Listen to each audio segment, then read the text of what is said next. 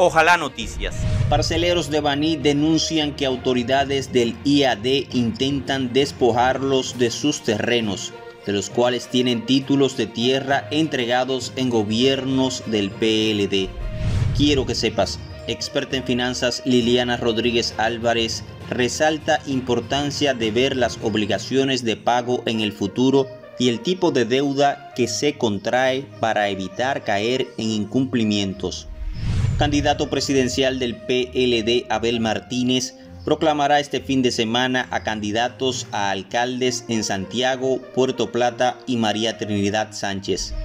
Muertes y contagios por cólera en Barahona. A comunitarios les preocupan los casos de cólera y el interés de autoridades competentes por quitarle impacto al brote u ocultar información. Experto agropecuario Carlos Segura Foster recuerda al Ministerio de Agricultura que el mundo no comenzó en el 2020. Indica gobierno de Danilo Medina redujo la pobreza extrema de 9.9% a 2.70%. China declara no hemos olvidado la deuda de sangre que tiene la OTAN con el pueblo chino. Expresidente de Uruguay José Pepe Mujica llama a la unidad de Latinoamérica. De no juntarnos seremos débiles. Nadie nos regalará la prosperidad.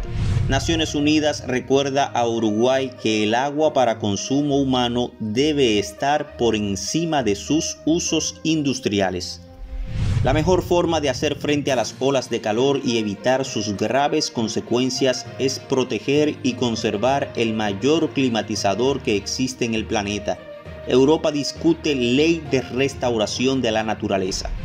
Se cumplen los 207 años de la partida física del prócer de la independencia de Venezuela, Francisco de Miranda